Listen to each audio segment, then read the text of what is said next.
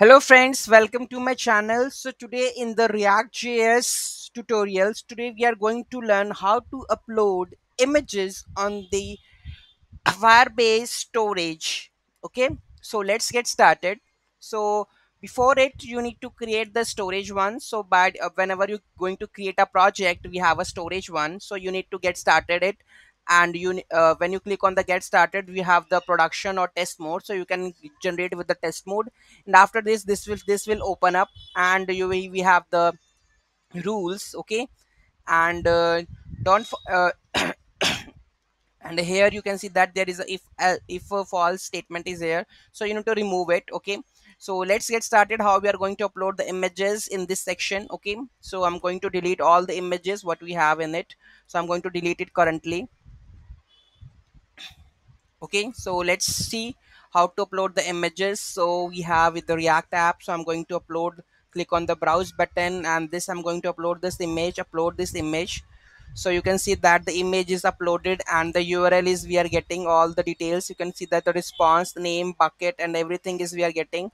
And you can see that here on the this files you can see that the images in folder. You can see that one of my file is coming up and you can see that this is that image correct? So let's see how to uh, make such kind of thing in the react.js so let's see. So here we are the functions. So here we have the firebase storage. We have upload bytes get download url this is the functions of the firebase. So you need to install the firebase.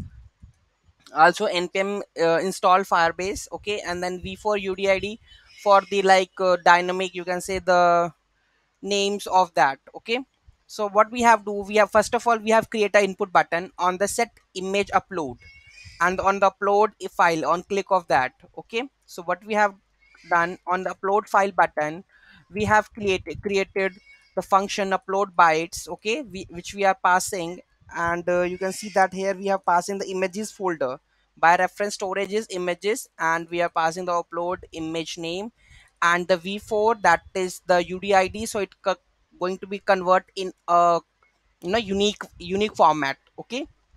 Then we are going to create the snapshot of it and get the download url and set that url in the set image urls you can see that we have a state url okay? So whatever the image we are getting in we are going to set it and we are going to show it like which file is uploaded. You can see that image urls are we are mapping with the image url is map and you can see that we are showing the image url okay?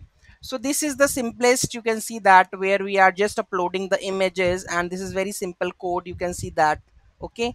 Nothing different nothing uh, difficult it is. So any query any issue in that just let me know in the comment section okay? So that's it for now. Thank you so much for watching this video. Have a great day. Don't forget to like share and comment on my video. Have a great day